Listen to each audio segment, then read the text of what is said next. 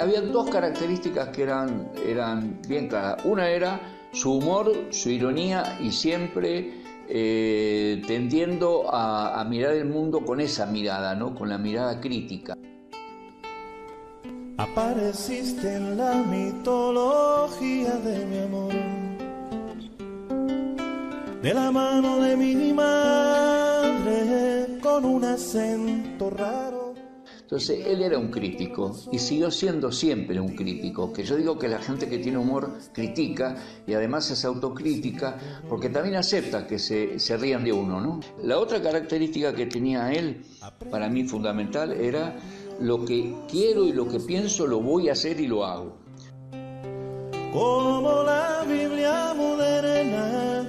y con Che comandante y las Américas con Granado, este, él, estaban en, su viaje este, con la moto, ya la moto había desaparecido y estaban con la balsa, con el mambo tango, él había este, decidido que, él iba a cruzar el Amazonas a nado.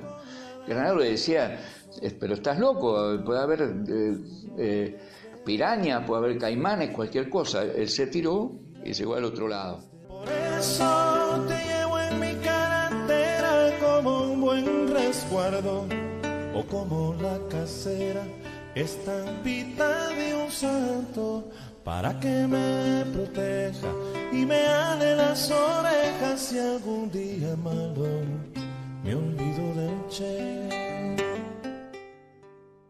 Cuando se habla de, del Che, de la figura, de esta imagen que, que, ha recorrido el mundo, como la foto de Corra, se habla de mito. Yo en una época hablaba de la destrucción del mito y más adelante me di cuenta que no es posible destruir un mito porque los mitos los construyen las sociedades.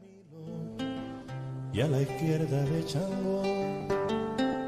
El objetivo es ponerle contenido al mito, humanizarlo, humanizar al Che.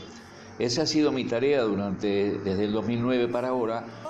lo contrario, no les permitiremos más discursos en tu honor. El revolucionario contemporáneo indigerible para el poder económico, político y militar concentrado que hoy domina el mundo es el Che. Y que por eso hay que denostarlo, deformarlo, manipularlo, vaciarlo ya que ignorarlo no han podido. Pintado los pulóveres de los muchachos o vigilante desde la pared. Él escribió más de 5.000 páginas. Entonces esas páginas hay que leerlas, hay que hacer que la juventud las lea. No fue nada más que un, como él dijo, un aventurero, pero de otro tipo, el que pone el cuerpo para decir sus verdades, no, que fue un revolucionario.